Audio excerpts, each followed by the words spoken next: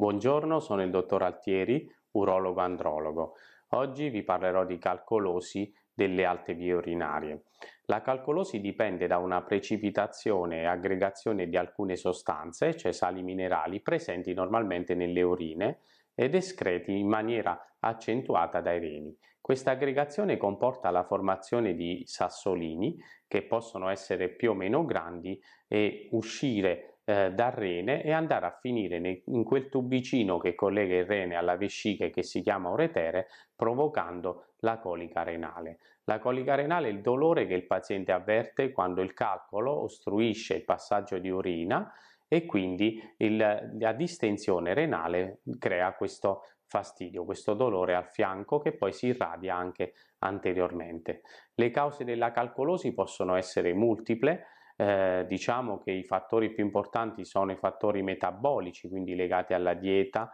legati ad alterazioni delle, delle sostanze metaboliche prodotte dal nostro organismo, oppure fattori di tipo ostruttivo anatomico. Quindi eh, se ci fosse un'ostruzione meccanica, cioè qualcosa che impedisce alle urine di passare agevolmente attraverso eh, la, la nostra via urinaria, eh, fino ad arrivare alla vescica, il ristagno di urine può provocare la formazione di calcoli. Essenzialmente i calcoli sono di ossalato di calcio e di acido urico oppure misti, poi ne esistono altre forme eh, più varie, eh, ci sono alcune tecniche per riconoscere il tipo di calcolo come l'imaging, come degli esami metabolici da eseguire, mentre per quanto riguarda il trattamento esistono differenti tipi di trattamento. Oggi, oggi grazie alla mini-invasività della chirurgia e, del, e della tecnologia eh, diciamo che il trattamento è quasi sempre per via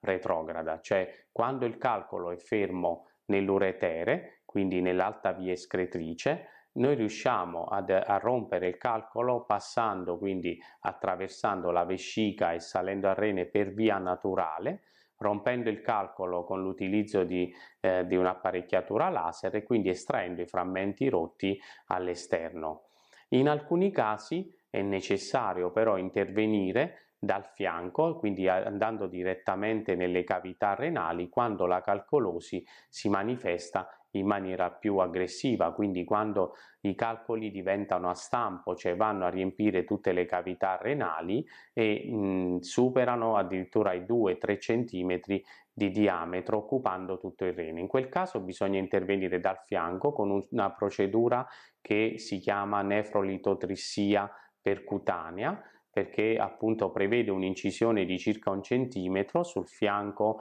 eh, del rene coinvolto e l'ingresso della strumentazione endoscopica mini-invasiva direttamente dal, da questa breccia creata chirurgicamente, in maniera da aggredire direttamente il calcolo con una tecnologia avanzata che ha la funzione di rompere ed aspirare queste pietre diciamo che eh, danno fastidio al nostro corpo. Naturalmente eh, al trattamento chirurgico che si esegue in una fase diciamo eh, in cui non si può fare altro eh, va seguita sicuramente una dieta eh, bere tanta acqua e soprattutto eh, è importante correggere anche delle abitudini di vita errate, quindi eh, bisogna che si ci confronti con il proprio urologo di fiducia per capire quali possono essere le criticità da diciamo correggere per migliorare il proprio stile di vita e quindi cercare di evitare la calcolosi urinaria,